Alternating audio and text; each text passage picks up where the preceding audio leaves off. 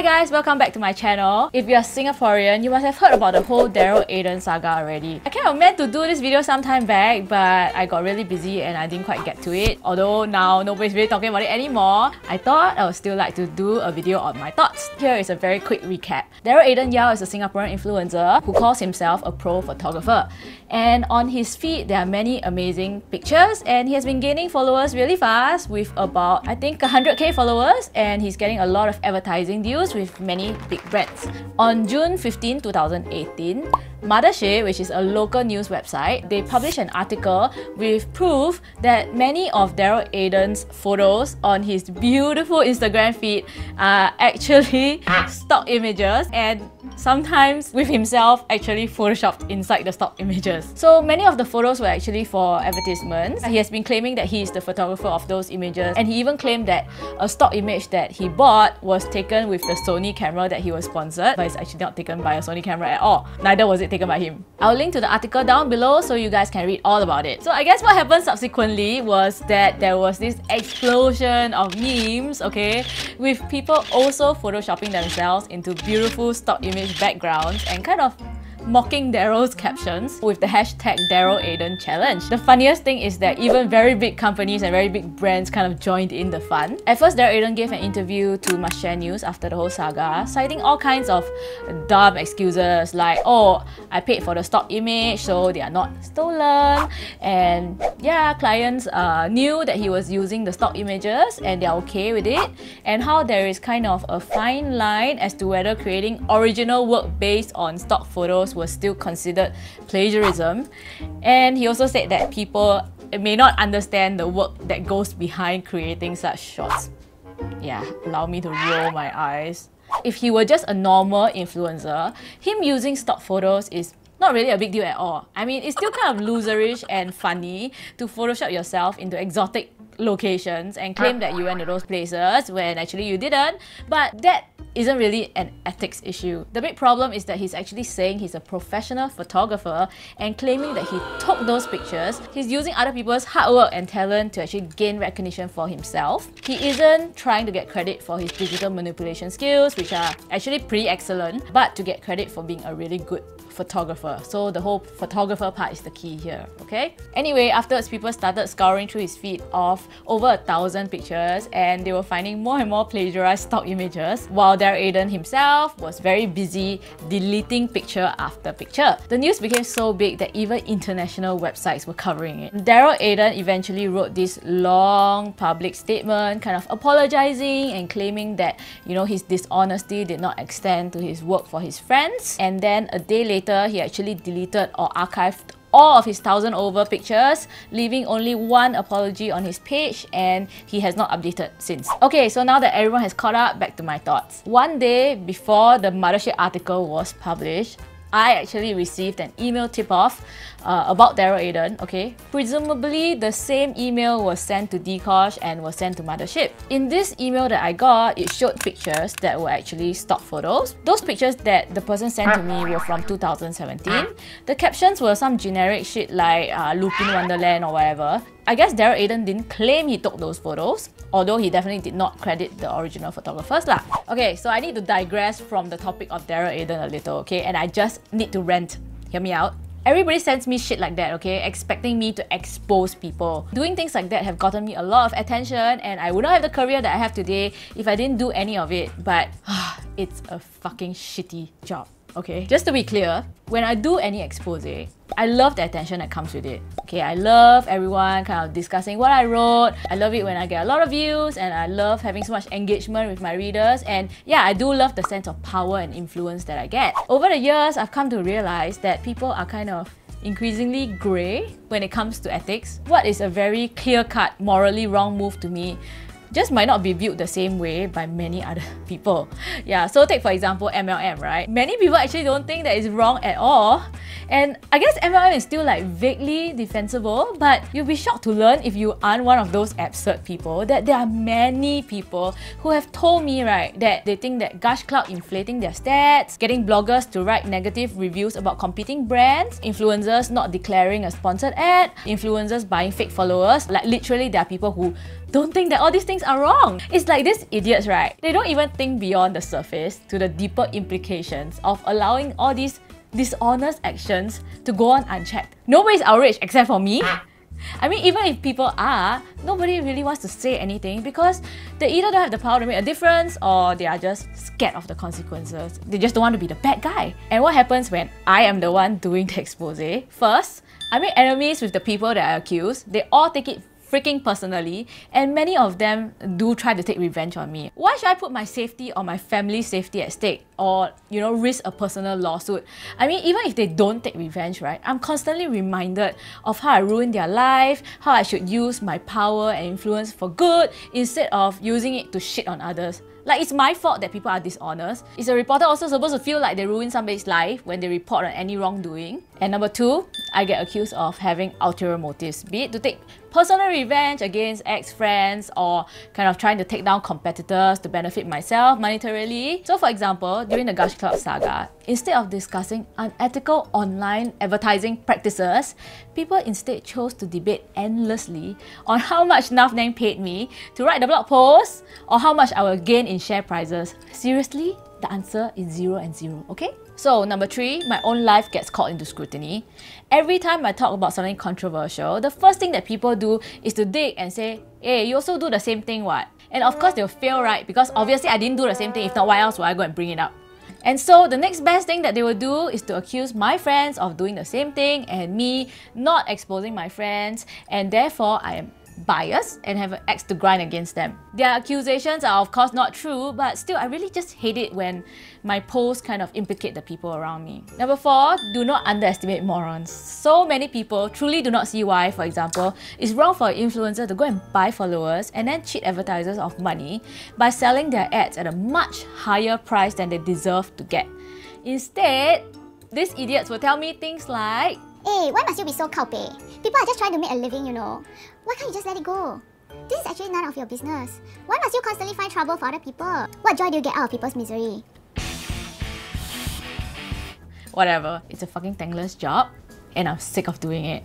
Let dishonest assholes be dishonest assholes. There are too many to catch anyway. Why would I even bother to do exposes? I just end up being called a bully. Forget it, you want to do dishonest shit, just go ahead. Sorry, I went off tangent for a bit, but it's relevant, okay? Because when I saw the email about Daryl Aiden, I just felt a jab of extreme jadedness, if that's a word. Like I'm just so tired of it all. It's another day, another practice that people want me to expose. But if I do it, I suffer the consequences of doing the dirty job. Fuck this shit, no thanks, 1010 do not recommend. Okay, so back to Daryl. I saw the email and I thought, okay, there are only two photos here that are stock photos that he stole. And it's pretty long ago, plus he never said that he took the pictures, so it's not that bad, right? There's really nothing much to expose there anyway. So I decided on a softer approach. I actually forwarded that email to a mutual friend who also knows Daryl. So this mutual friend, let's call her Alice, she asked if she can forward Daryl the email to see if he can kind of explain what's going on. And so this is Daryl's explanation. He said that he already addressed this plagiarism issue on his IG stories long ago. Okay, I don't know if it's true lah. Uh, because he said that other people already complained about it. He also added that the two plagiarized images was actually from long ago and uh, back then somebody actually uh, complained about this issue to Drea Chong and she told him not to do it anymore. So since then, which is 2017, he has stopped doing it. And he also said that he bought the stock photos to practice his Photoshop and he just didn't think too much about it and he just posted his digital artwork. He did not know who to credit because sometimes stock images, they didn't cite who the photographer is. So I heard all this and okay, it sounds very reasonable, right? I mean, I don't know if all these are true, but I guess I just took his word for it. He didn't self-proclaim to be a photographer until later.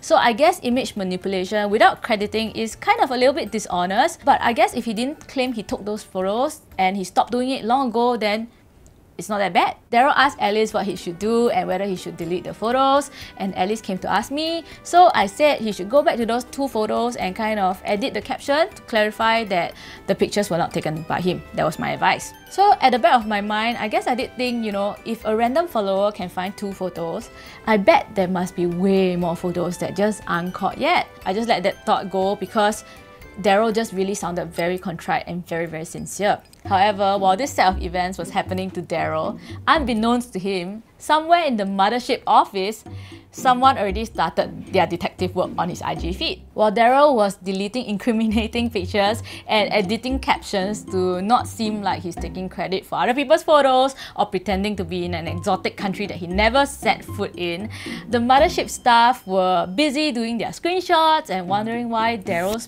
photos were kind of like going missing as they went along. Well, Mystery solved? It was me. I'm the idiot who tipped him off. The next day, imagine my surprise when I read the Mothership article. As I read on, I just got more and more pissed off. Okay, Nabe, this bugger, he totally lied through his teeth to me by Alice's proxy. It's clearly not just two photos, it's probably hundreds more. And what is worse is that the last stolen photo was literally like a few days ago before the Mothership article came out. So it was a bald-faced lie that he stopped doing all this shit since 2017, right? As for whether it's true that Drea knew about his shady practices and stopped him long ago, I actually went to ask her and here's her answer. I guess to be fair to Drea, even if it's true that she did know about it, what would you do if you were her? Just imagine that you catch your best friend doing this shit, okay? You tell him, hey, can you please just stop? And he just patronizes you and say, oh yeah, yeah, I won't do it anymore. But then he continues to do it. I mean, what are you gonna do? Is it something that you would actually break a close friendship over? It's a really tough choice and I think I think Drea was put in a very difficult position. Personally for me, I'll start to drift away from that person yeah, but it's just really hard. I thought about this a little bit, and you know what? Digressing a bit, friendship nowadays just really sucks, okay? I don't know. I guess I just really miss the times before the internet when you're so innocent, okay? To decide if you like someone as a friend, you only took into account how they are like in real life. Now, you got to like both their offline persona and their online persona because if there is like a disparity between the two, you will often develop this feeling of, I don't know, disgust towards your friend. And it will just kind of like grow and grow and grow until you cannot really stand them in real life.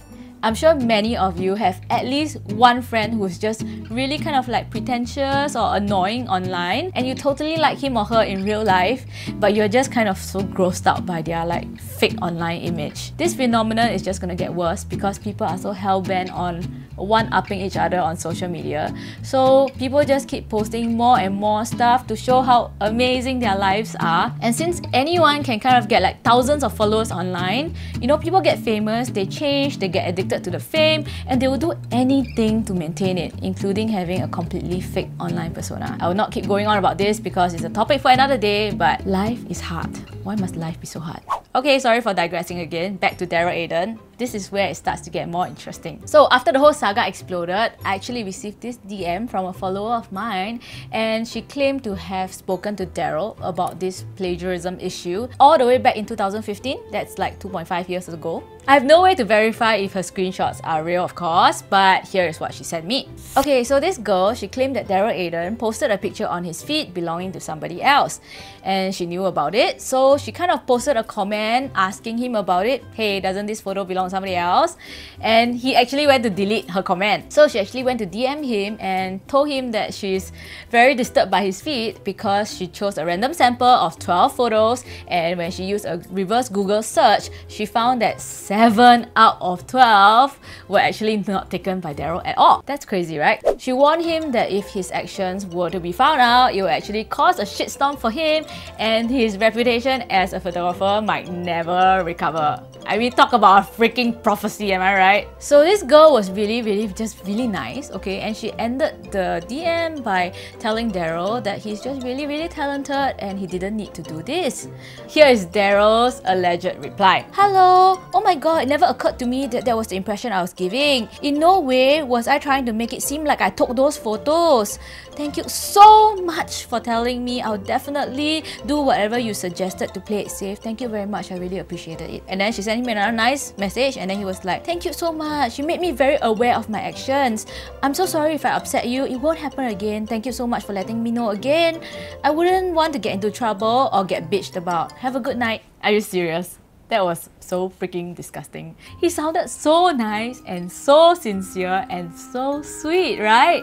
And then what did he do? He simply ignored this nice follower, turned around, and continued to plagiarize pictures for the next two and a half years. I I mean, it's the same bloody thing he did to Alice, right? Kind of act like he was so apologetic and so humbled, but I don't know, is it all just lies? You know, people have told me that they actually found his public apology like sincere and kind of well written. You know, I don't know, sincere. Seriously? If that is truly how he felt, then why did he give such a contradicting interview with Must News where he sounded, I don't know, completely unapologetic? Rihanna says it best. Don't tell me you're sorry cause you're not. Baby, when I know So I guess the question is, now that I know on hindsight what Daryl Aiden actually did, do I wish I actually did an expose on him instead of doing the kinder thing which actually ended up tipping him off? You know, I still don't really know the answer to that. Part of me, of course, wish that I was the one to do it instead of Mothership so I can get all the fame. But another part of me is just really happy that somebody else did it instead of me and that person did a great job too so I don't have to feel guilty about ruining somebody's life although technically it's his own doing that ruined his life not mothership okay? But yeah that's on you mothership. You are the bully now not me. Woohoo! And I don't have to fear for my safety and I don't have to feel bad towards my friend Alice or you know I don't know feel really awkward when I see Daryl Aiden in future.